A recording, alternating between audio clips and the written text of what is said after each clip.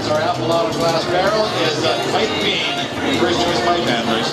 Barrel number two, the UFA barrel is empty, and a barrel number one, the Canadian Tire barrel, is going to be Evan Magee, sponsored by the Teepee Creek Stampede.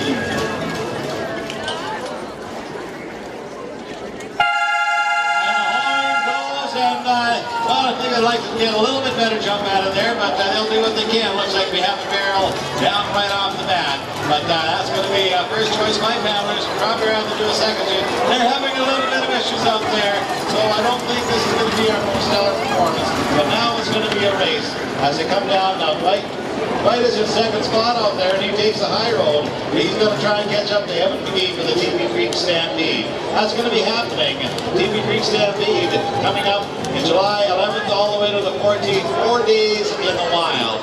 Excellent uh, shows over there. Happy to say the Western Wagon Association will be there running as well. Now we've got Evan Magee for the Teepee Creek Stampede, a full two legs ahead of his nearest competitor.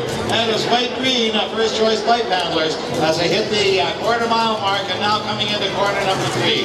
Took a while to get going, but they're going right now as they hit corner number three and now coming into the fourth corner. Evan Magee. Now take a look at Evan's wagon when he comes back. He built that himself from scratch. He loves doing that stuff and his wagon works very well. Just a little trouble with his horses right now. Okay, he's on. They're on their way home now. Evan Magee for the Teepee Creek Stampede. Four days in the wild and let's listen to the crowd go wild. As they're on their way home, there's Evan Magee. Teepee Creek is going to finish this one. Number one spot. Second spot, first choice pipe handlers and Dwight Green. That is heat number two, our expert